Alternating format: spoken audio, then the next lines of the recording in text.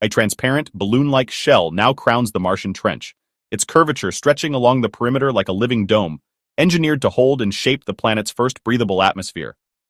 This time, a few years in the making, it was tested by the meteorites entering the new atmosphere as it slowly burns into the condensed shell atmosphere. Suggesting that it was compact with air due to the friction, the tiny meteorite burned, and it did not even touch the ground. The place is surrounded by drones, and every happening is recorded and studied. And just as they taught, the trench is now safe and fit for human habitation. What began as fibrous ozone has evolved into a stable, inflated shield, pulsing gently with the rhythm of ozone gas pumping beneath. Inside, earthborne air is continuously released into the trench, pressurizing the environment and slowly triggering a cascade of change.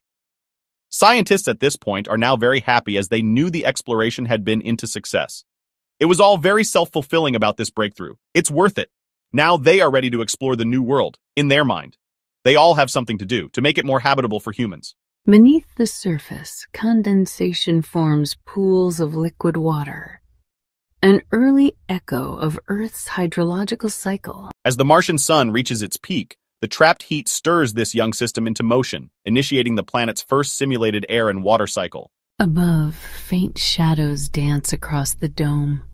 Birds, carried here from Earth, they circle this alien sky with hesitant grace, wings spread wide over red soil and unfamiliar cliffs. Though strangers to this terrain, they begin to adapt, sensing instinctively that this place, while foreign, is now theirs to explore. Despite Mars's weaker gravity, the newly pressurized atmosphere within the dome provides enough resistance to stabilize their flight and movement.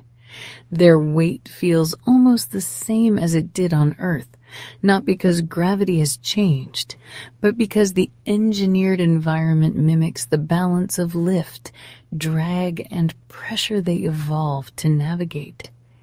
They imagine the reason is probably because they are way below the Mars crust, and the pressure was pulled down to their body was enough to equate their weight when they are on the Earth's surface.